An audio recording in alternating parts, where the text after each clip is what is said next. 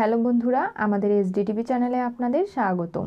আমি দীপিকা, চলে এসেছি আপনাদের জন্য বাংলা মিডিয়াম সিরিয়ালের আপডেট নিয়ে। ইন্দিরা যখনই সবার পাতে খাবার বেড়ে দেয়, সবাই খাচ্ছে আর খুব প্রশংসা করে। বলে ওই যে আমাদের একটা রেস্টুরেন্ট রয়েছে না নামি দামি সেখানকার খাবারের মতোই খাবারগুলো লাগছে। বাহ, তোমার বৌমা তো বেশ ভালো রান্না করে।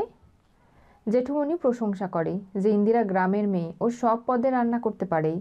আর তোমাদের বান্ধবী অনন্যা, সে তো পাহারায় রেখেছিল। কোনোভাবেই যেন ইন্দিরাকে কেউ সাহায্য করতে না পারে এবং ইন্দিরা যেন একলা হাতে রান্না করে তোমাদের খাওয়ায়।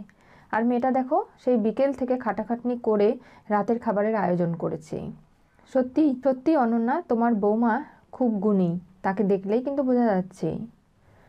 আবিরা, তুমি দাঁড়িয়ে আছো কেন? তোমারও নিশ্চয়ই টেস্ট করে দেখার ইচ্ছে করছে খাবারগুলো। এক কাজ করো, বংশীদা, তুমি আবিরাকে এক পিস মাংস এনে দাও। ও টেস্ট করে দেখুক। এরপরে আবিরা খেতে চায় চায় না। মুখে দেওয়া মাত্রই আবিরার প্রচণ্ড ঝাল লেগে যায়। আবিরা একদম চিৎকার করে জিভ বের করে এবং তারপরে সামনে থাকা গ্লাসের জলগুলো ঢকঢক করে গিলে ফেলে। আর বলে, তোমরা এসব কি খাচ্ছ বলো তো? একদম নুন ঝালে পোড়া এই তরকারিটা তোমাদের কাছে এতটা প্রিয় লাগছে? কি বলছো কি আবিরা? একই খাবার আমরা খাচ্ছি আর তুমি খাচ্ছ, তোমার টেস্ট অন্যরকম কি করে হতে পারে? সবাই তো আমাদের ভালোই লেগেছে হ্যাঁ খাবারটা তো বেশ ভালো, মজাই তো লাগছে বাবা, তোমার? হ্যাঁ আমারও ভালো লেগেছে। তাহলে আমার খাবারটা এরকম কি করে হলো? ওটা হয়নি, হয়ে গেছে। তার মানে? মানে তুমি যে খাবারটা খেয়েছো আবিরা, সেটা আমি রান্না করেছি, যেটা নুন, ঝালে পোড়া। আর এখানে যে খাবারগুলো সবাই খাচ্ছে, সেগুলো রেস্টুরেন্ট থেকেই আনানো। কি? এক্ষুনি তো তুমি বললে যে এই খাবারগুলো নিজে হাতে রান্না করেছ। আর মিস্টার চ্যাটার্জিও তো বলল যে, তুমি খুব ভালো রান্না করো। তাহলে ও শুধু নিজে শর্ত পূরণ করবে বলে ক্রেডিটটা নেওয়ার জন্য রান্না বান্না করতে পারে না বোধহয়, এরকম রেস্টুরেন্ট থেকে খাবার অর্ডার করেছে। তুমি আমাকে বললেই পারতে, ইন্দিরা। ওরা জানো ওদের স্ট্যাটাস। ওরা কত নামি দামি রেস্টুরেন্ট থেকে খাবার আনিয়ে খায়। ওনারা তো বলল যে, এই রেস্টুরেন্টের খাবার ওনারা খান। বাড়িতে পর্যন্ত নিয়ে গিয়ে খাই, খেয়েছে। তাহলে সমস্যা কোথায়, শাশুড়ি মা? তুমি এই কাজটা কেন করলে? নিজের ক্রেডিট নেওয়ার জন্য? ইন্দিরা কখনো নিজের সম্মানের থেকে তার পরিবারের সম্মানকে বড় করে দেখে। আমি যদি এই ঝাল নুনে ভরা খাবারগুলো ওনাদের দিতাম, তাহলে আপনার মান সম্মান কোথায় থাকতো? একবার ভেবে দেখেছেন? আমি কেন ক্রেডিট নিতে যাব? আমি তো চাইলেই অস্বীকার করে ওনাদের যে প্রশংসা পাচ্ছিলাম, দাঁড়িয়ে দাঁড়িয়ে শুনতে পারতাম। কখনো বলতামই না যে আবিরা যে খাবার খেয়েছে আর যে খাবার এখানে রয়েছে, সেটা দুটো আলাদা। এসব কীভাবে হলো? তুমি তো কলকাতা শহরের কোনো রেস্টুরেন্ট চেনো না, তাহলে তোমাকে এই সাহায্য কে করেছে? ভিকি বলে, আমি করেছি। তার মানে? ভিকি, তুই এসব কিছু কখন করলি? ইন্দিরা, ভিকি আসা মাত্রই তাকে জানিয়েছিল সব কথাগুলো, আর তখনই ভিকি খাবার অর্ডার করে দিয়েছিল। ভিকি বলছে, কিন্তু তার মা শুনতে রাজি নয়। তখন ইন্দিরা বলে, আমি জানাচ্ছি। আমি যখন ঠাম্মির ঘরে গিয়েছিলাম খাবার দিতে, তখনই আবিরা আমার তরকারিতে নুন এবং ঝাল বেশি করে মিশিয়ে দিয়েছে। উনি আমার শাশুড়িমার কথায় সন্ধে থেকে ঠায় দাঁড়িয়ে আমাকে পাহারা দিচ্ছিল ঠিকই, কখনো সুযোগ পাইনি। যেই আমি রান্নাবান্নাগুলো করে বেরিয়ে গেলাম, তখনই সুযোগ পেয়েছিল। আমার মনেই হচ্ছিল, কারণ আমি আবির আর কোমরে নুন এবং লঙ্কার প্যাকেটটা আগেই দেখে নিয়েছিলাম। তাই আমি যখন ঠাম্মির ঘরে খাবার দিতে যাচ্ছিলাম, আমার ফোনের ভিডিও রেকর্ডারটা অন করে গিয়েছিলাম যে আবিরা কি করে না করে সবটা আমি পরে দেখব। ভাগ্যিস ঠাম্মি ওই খাবারটা খায়নি, তাহলে তো ওনারও ঝাল লবণ লেগে যেত। আর ঠাম্মি আগে খেলে আমাকে সাবধানও করতে পারতো। তুমি এসব কি বলছো, ইন্দিরা? তুমি আমার বৌমা সম্পর্কে একদম বাজে কথা বলবে না। এখন নিজে রান্না করতে পারোনি, নিজের দোষটা আবিরের ঘাড়ে চাপাচ্ছ? না, মেচকা। আমি সেটা কেন চাপাতে যাব? আমি কখনো কারও ক্ষতি চাই না। এই পরিবারটা আমার কাছে খুব প্রিয়, বুঝতে পেরেছেন আপনি? তাহলে তোমার কাছে কি প্রমাণ রয়েছে? যে তুমি এতগুলো কথা আবিরার বিরুদ্ধে বলছো?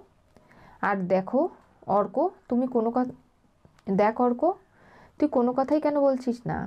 আর সায়নও তুই চুপ করে থাকবি? কি বলব? আমার বউ যদি অন্যায় করে থাকে, তাহলে তো ও এই কাজটা ঠিক করেনি। তুমি এখন ওই ইন্দিরার কথা শুনে এরকম করে আমাকে কাঠগড়ায় তুলবে সায়ন? কি আর করব? তোমার কোমরে আমিও একটা কিছু দেখেছিলাম, কিন্তু সেটা আমি ধরতে পারিনি। দেখো, আমি তোমার বড় যা, তোমাকে শাসন করতেই পারি, সেজন্য সবসময় করব না। অন্যায় করেছে বলে করেছি। আবিরা এইসব কি সত্যি কথা? তুমি কেন এই কাজগুলো করলে? তখনই ইন্দিরা ফোনটা এনে ফোনের ভিডিও রেকর্ডারটা চালু করে সবাইকে সত্যিগুলো দেখিয়ে দেয় যে আবিরা রান্নাঘরে কি করছিল আসলে। সেসব দেখে সবারই চোখ ছানা বড়া হয়ে যায়। অনন্যা ভাবে যে ইন্দিরা যে চালাক, এবার যদি আমাকে ধরে ফেলে তাহলে আমি অস্বীকার করে দেব। দেখো আবিরা, আমি জানি এই বুদ্ধিগুলো তোমার মাথা থেকে আসেনি। নিশ্চয়ই তোমাকে এই বুদ্ধিগুলো কেউ দিয়েছে। কারও মাথার বুদ্ধি তুমি হাওলাত করে এই কাজগুলো করেছ। কেন করলে বলো? ছি, তোমার এতটা শিক্ষা দীক্ষার অভাব আবিরা বাড়িতে আসা মেহমানের খাবার নষ্ট করে তুমি কি প্রমাণ করতে চাইছিলে? এখনও বুঝলে না জেঠুমনি ও আমাকে সবার সামনে নিচু দেখাতে চেয়েছিল, সবার সামনে আমাকে বকাঝকা করবে, সবাই খাবারগুলো ছুঁড়ে ফেলে দেবে এটাই দেখতে চেয়েছিল। কিন্তু এটা ভাবেনি যে এই পরিবারের মানুষের কতটা অপমান হবে। আবিরা, তোমাকে আমি খুব ছোট ভাইয়ের বউ হিসেবে সম্মান করি, কিন্তু তুমি যে এই কাজটা করতে পারো সেটা আমি ভাবতেও পারিনি। তোমার কি প্রয়োজনটা ছিল?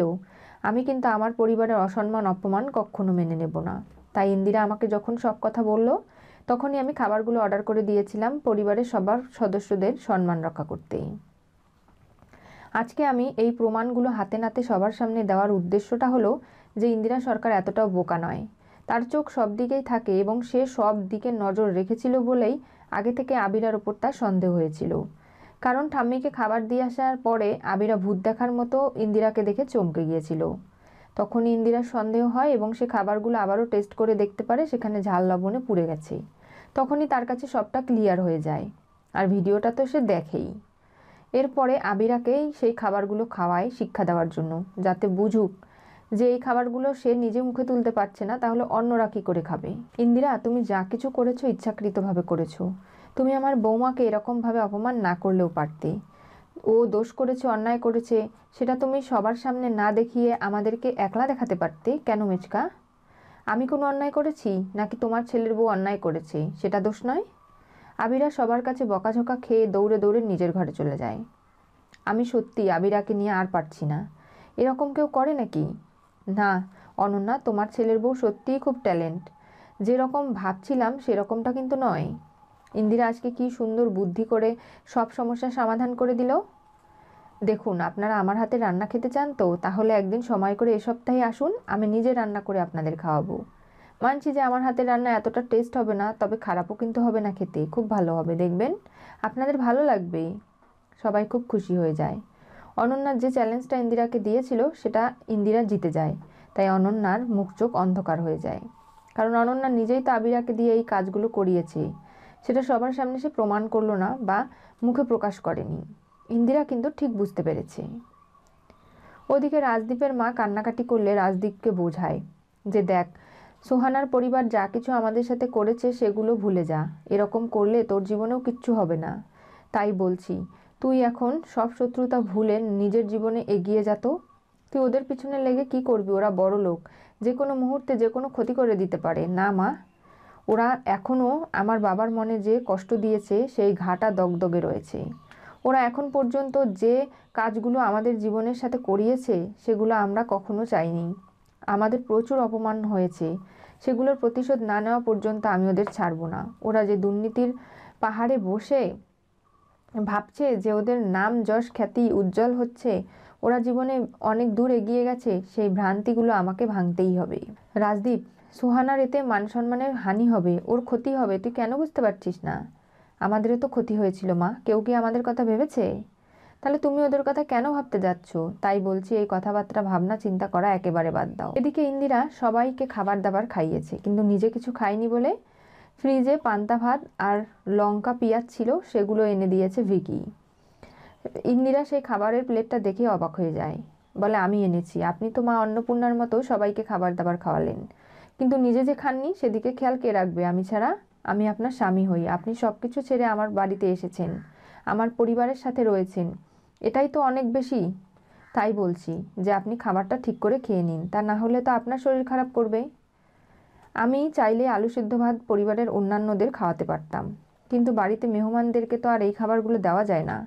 তাই আপনি আজকে সাহায্য করেছেন বলেই এই কাজটা সহজভাবে করতে পেরেছি। তাই ভিকিকে ধন্যবাদ জানাই।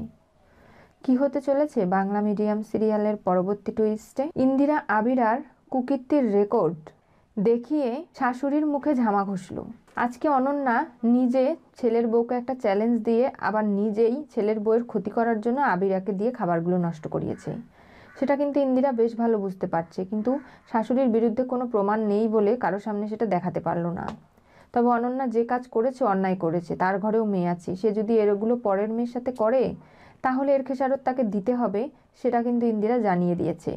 কারণ অনন্যা প্রতিবার এরকম করে বেঁচে যেতে পারবে না। আজকে ভিকির সাহায্যেই ইন্দিরা কিন্তু এই পরিবারের আসা অতিথিদের সম্মান রক্ষা করল। এরপরে কি ঘটবে? ওদিকে তো রাজদীপ জানে না ইন্দিরা কি করবে, না করবে। কিন্তু নিজের তরফ থেকে যা যা কিছু করার দরকার, সে সব কিছু করতে শুরু করেছে। এরপরে কি হবে? জানতে হলে চোখ রাখতে হবে আমাদের চ্যানেলে। পাশে থাকা বেল আইকনটি অবশ্যই করে ক্লিক করুন।